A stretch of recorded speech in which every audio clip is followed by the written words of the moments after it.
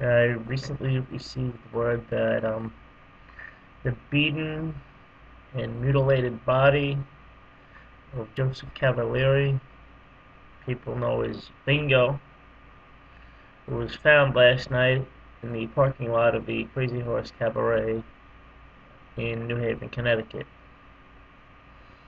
There's been talk that um, recent actions of Mullen led to his death.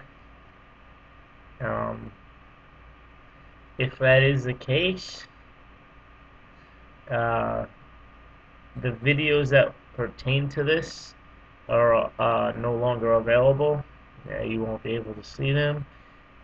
And, you know, I like not to think that it had to do with that, but, you know, if you piss off the right people, I'm sure these things will happen. And, you know, it happened to a pretty good guy, you know? I mean, there's a lot I could say about this man, but I don't know if it matters now. I guess what matters is what he stood for, what he lived for, and what he died for. He always did everything the way he wanted to, and I never understood that. But I understand now. I'll never forget him. I mean, how could you forget a guy like Bingo, you know? I mean, I remember this one time when we worked at a strip club together in New York. I don't know if he was working there yet, but um, there there was this dancer there that he was uh, really into, you know. And he he did whatever she asked for. She had him wrapped around her little finger, you know. car payments, house payments, uh, jewelry, food, you know, whatever, whatever she wanted, he bought in.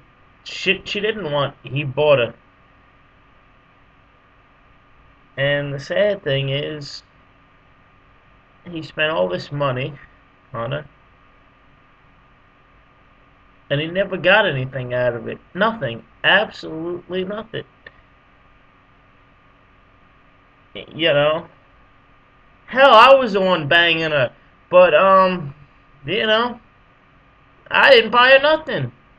But I was banging her and he, he, he got shafted for buying her all this stuff. Then she, uh, couldn't stand the uh, stalking, I guess, if you will, on his part, and she left. And, and this moron decides to get the broad idea to take a full page ad out in one of the sex magazines. Missing. If found, please call. Stuff like that is what made Bingo unique and uh, fun to be around. I'm gonna miss him. So that he's a good kid.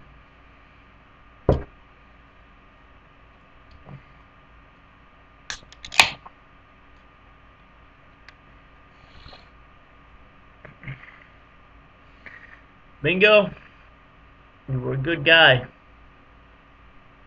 I liked you. Everybody around you liked you. Believe it or not, Charles, yeah. Good old Charlie, he really liked you.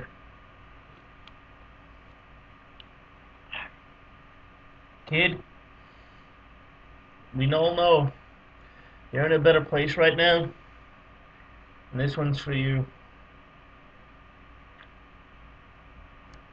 God rest your soul, pal. We all loved you, Bingo. It ain't gonna be the same around here without you.